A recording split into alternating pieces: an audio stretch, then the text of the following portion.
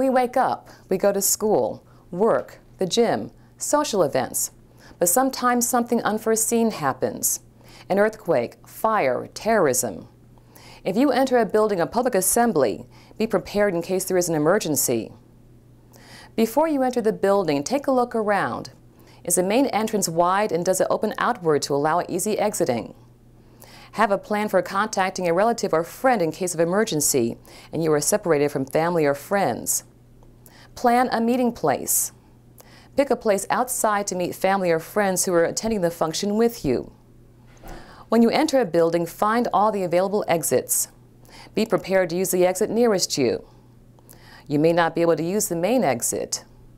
If there's an emergency, react immediately.